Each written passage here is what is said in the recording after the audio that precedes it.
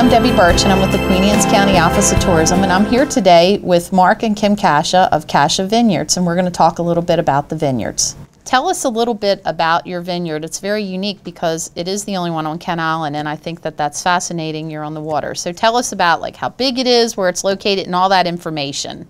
Okay, well, we're on Thompson Creek Road on Kent Island. We're all the way at the end. We, we're on the end of a peninsula, so we're, we're a waterfront property. Nice. We have over 20 acres, and 12 of them, a little over 12 acres now, is in vines. Okay. Uh, we are accessible by boat as well, so we have deep water at our pier, and we have a lot of visitors coming by boat or by car and or uh, other other Probably modes not. of transportation. I'm thinking there's probably not a lot of vineyards like in Western Maryland all that you can get to by boat. So that's No. a huge selling point There's for very- you all. That's right. There's only a couple that we know about in the state that are accessible by boat. and Okay, One of them. and, and you said um, you have different, you have acres, do you grow different? Because I'm not, I don't know a lot about grapes and all that, and I know there's different kinds, so what do you grow and what does, what you grow, what does that make?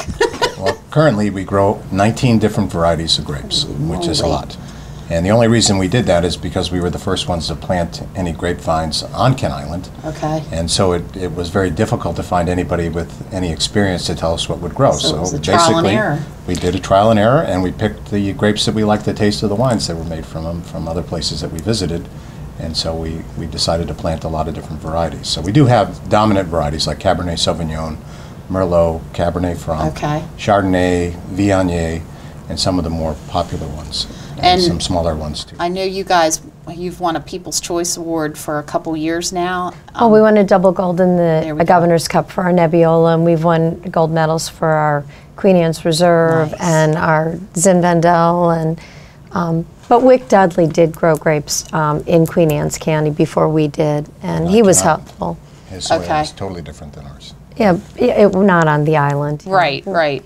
I just I th- I think that's fascinating because people, you know, they think of the vineyards and they think, oh, they're in the rolling countryside, and there's a lot of vineyards on the eastern shore, and you know there is a Chesapeake wine trail that you can follow to all of them, and if you start as soon as you cross the Bay Bridge, you guys would be the first vineyard that they hit. A lot of times when um, I people say there's a vineyard on Kent Island, I tell them, "Do you know where the Cracker Barrel is?" And it doesn't matter where I am in the state; everybody knows where that Cracker Barrel. That's is. true. And we're at the end of that road. That's but true, yeah, because people, where's Thompson Creek Road, and that's we are the best kept secret on the Eastern Shore. we have a beautiful venue. We've had a lot of weddings and um, rehearsal dinners. In fact, we have one tomorrow night.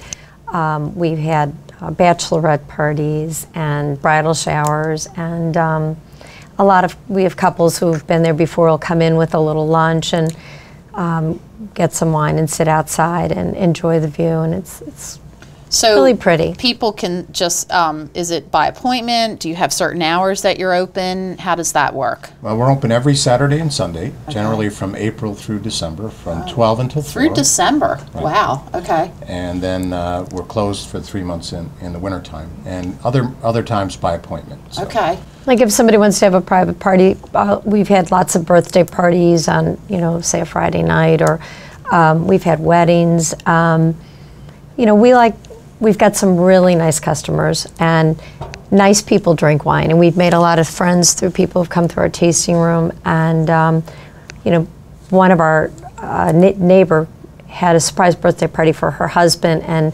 didn't tell him um, what they were doing. They thought they were going to one of the restaurants over at the Narrows for dinner by boat. And she said, "Oh, you want to stop and at the tasting, you know, at the winery and have a, a glass of wine?" And he said, "Are they open?" She goes, "Well, look at all the cars." And they He's got thinking, off oh, you're doing a booming business. Yeah.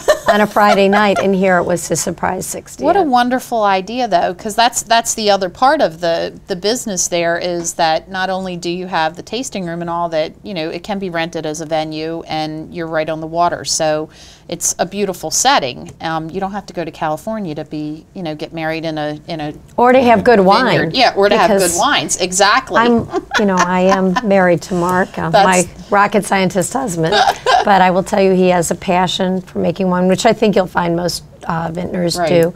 But um, he makes, I think, the best Maryland well, you wine. must be doing something right to win the awards. So that, that the awards speak, you know, volumes. We try.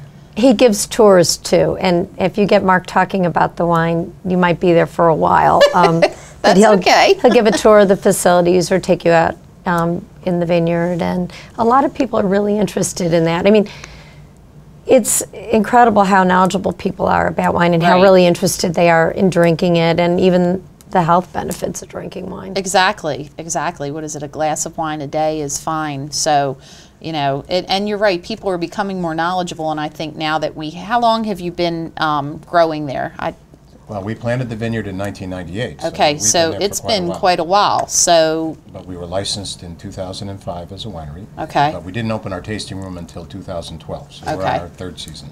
But we did. We were um, participating in the buy local and the farm and the farm trail, and so we had had people at our facility or for private events Knew about prior it, to right. that. But really, it was with the Kent Island Federation of Art three years ago, which this weekend will be the um, our third anniversary with them, that we really opened to the public, and it was a beautiful event. And every year, it's just and gotten that's the garden tour, and that's this Saturday and Sunday.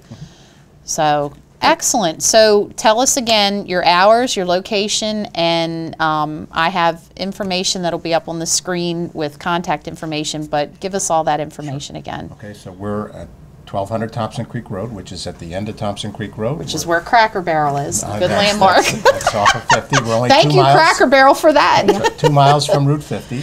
So it's a short uh, little turn, detour to come from Route 50 if you're on your way to the beach or anywhere else. Right.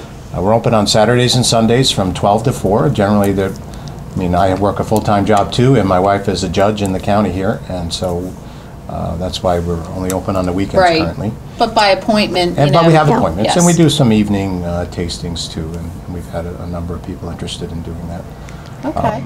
It's a nice place to come if you have uh, visitors um, and you've run out of things to do. Right. Um, it's you know, and if you're not if it's raining, you don't want to go on the boat or. Yep. Um, it's a nice. I go to seven o'clock mass at St. Christopher's, and a lot of times people would see the sign on the back of my car, and I'd see um, people from church come around noon.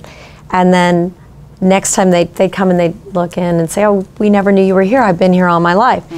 Next time they'd come back with their children who were about my age, and their kids my age would say, Mom and Dad, how did you find this Yeah, place? exactly. The parents are finding where to go and have. Then the wine. parents would come back with their kids. college-age children, Mm-hmm. and they're they were like mom and dad, you know. And then those kids will come back with their girlfriends who are getting married or Yep. with a date, and it's really been it's a nice, quiet place to come. I mean, it, sometimes it gets a little louder, but we have people bring dogs and children, and um, it's a, a lovely venue. And you're allowed to bring your own food or a, a picnic lunch or something. We encourage that because when we drink, we like to have Right. something to eat. So and so the grounds being right on the the water there, it's perfect setting for You that. You can picnic out in the lawn or um, sit at a table inside or out. Okay, wonderful. Well, hopefully, um, you know, you'll have a good season. I'm, I'm just impressed that you're open all the way to through December for you know people to come in because in the winter again people are looking for things to do. So, Yeah. So we, Like- we our philosophy was, well, when people stop coming because the weather turns cold, we'll close. that's Well, right. And they And they didn't stop coming. so so you might find yourself open in January Well, next we year did. We now. actually had, we had someone not. get married there December 31st. Yep. Mm-hmm. And then we had, the next weekend, even though we were supposed to close, we had a big See? birthday party. Another 60th Yeah, birthday you, party. you only think you're going to have those few months off. I look up forward to those times off. So, well, I'm, I'm glad you guys stopped by and thank you so much. And I hope everybody on out. gets a chance to come out and sample the wine and We invite see you the to setting. So, thank you. And we'd love to have people come and, and please don't be afraid to ask any questions if you have any because, I mean, we like to talk about it too. So Wonderful. it's a fun event, I think, for everyone. All right. Thank you very much. Thank you. Thank you for having us.